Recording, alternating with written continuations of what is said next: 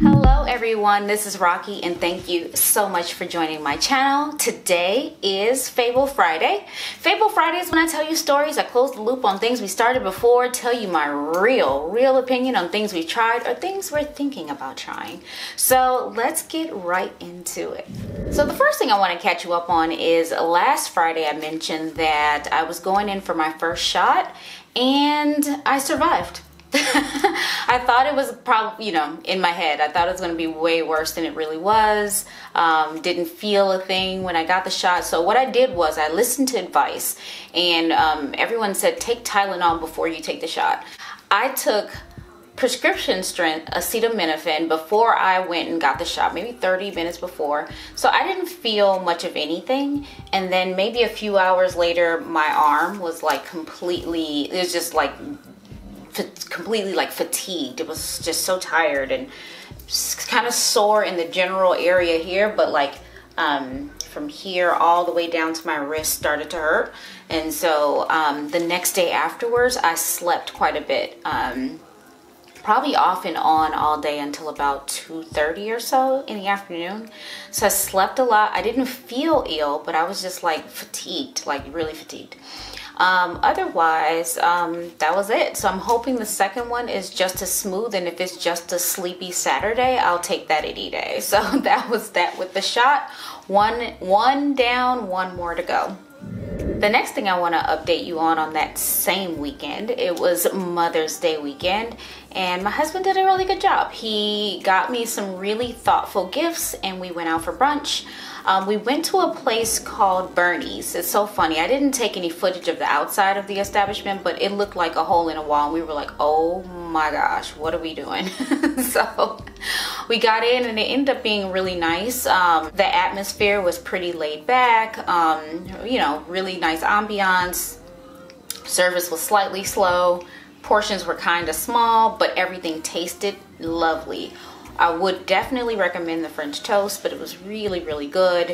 Um, I did a make your own skillet and um, that was interesting but uh, otherwise the, the french toast i think was like my favorite thing of the whole night i mean of the whole day i don't know why i'm thinking night um, but it was really good and i would recommend that so yeah we had brunch and then i have never done this before but I am going to share with you this time what I got for Mother's Day. Um, my husband went to one of my favorite stores here in Chicago on the south side in Hyde Park called the Silver Room and he picked a lot of the things that I um, would have really liked you know to pick for myself if I were in there. Um, but let me share. Very first thing is jewelry. So this one is a chunky silver chain. It's kind of like um, I don't know, 80s, 90s hip hop kind of a chain. I don't forget the style of this chain, but I have one that's like a gold color from Urban Outfitters. And this one is similar, but in a silver. So I'm really excited to have the silver counterpart. I may even wear them together. I don't know, but I wore it um, already. I just kind of put it back in a box for a reveal to you. But I already wore it on Mother's Day. I thought this was really, really cool. Definitely right up my alley because like I said, I already got one that's gold I'm, you know, a huge lover of 90s fashion. You guys know that. You can take the girl out of the 90s, but you can't take the 90s out of the girl. the next thing I have just been dying to um, burn because it smells so amazing. It's just like just sitting here and just lets off this beautiful aroma. It's a beautiful candle um, from Silver Room. And it, what it does is it, all these candles have a distinct smell and it's assigned to a um, neighborhood in Chicago, and this one happens to say Kenwood. Um, there are so many um, really cool um, things in there. So I don't shop a lot in there. I usually do gifts in there because I just don't have the stones to spend the money on myself. So these are all the things that if I like money were not a thing or if I didn't look at price tags, I would just buy them. So, but I'm so glad he picked this up. Smells amazing. I guess when I'm done burning this, I could just leave it up as decoration. I don't know because this is really cool. Um, but that's why I don't want to burn it. I don't know. But it smells amazing. The next one, you guys know I absolutely love to drink tea. This one is a mug that says Queen of the effing Universe. Um, I'm gonna pop up a cutaway, of course, like everything else, but this is so, so cool. Um, Again, the mug says the same thing, Queen of the effing Universe. I'm to be drinking out of this one for sure because, you know, um, I definitely like when I'm on my uh, Zoom meetings for work, I'll be like, I don't know how that will be received, but we'll see.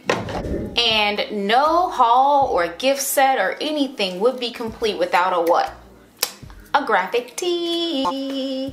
You guys know I love my t-shirts. And this one says House Head and it has the two, it has Chicago flags on there. So house music that house music was born in Chicago, even though some people would try to fight you on it. But house music was born in Chicago, and a house head is somebody who's really into a, huge fan and enthusiast of house music. It's like church for me.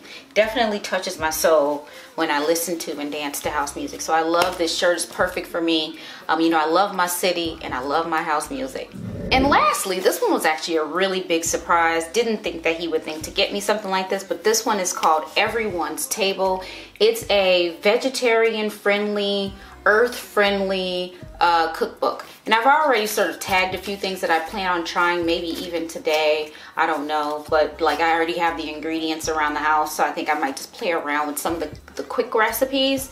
But um, the chef here happens to be Haitian, so that's another thing that, you know, obviously I would love about this, um, supporting my own people, but yes it's global recipes for modern health so everything is like healthy it finds ways to substitute um, like dairy for like dairy substitutes or um, a lot of uh, veggie dishes or a healthier version of dishes that we all know and love. And then it has a few of um, the dishes that I grew up eating Haitian dishes that I grew up eating or drinking or snacking on. Some of them are even in here as well. So I'm really excited to get started with this book um, this one was a very smart purchase because I will definitely use this as well. So that brings me to the end of this Fable Friday. Listen, if you're ever in Chicago, you should definitely check out the Silver Room. They support local, they support small. They're a small business themselves, black owned, um, but they support others as well. And you can find some really unique things for yourself or gifts um, that you probably wouldn't find other places because they are, you know, perfectly and carefully curated items that they put in the store. So if you're ever in Chicago, check it out. And then you can also obviously order online at silverroom.com. I would check them out as well because is one of my favorite stores. So thank you so much for watching today. Let me know if you have any questions. I'll link as much as I can down below. Um, subscribe if you haven't already. Share it with your friends. Hit the like button. Bye.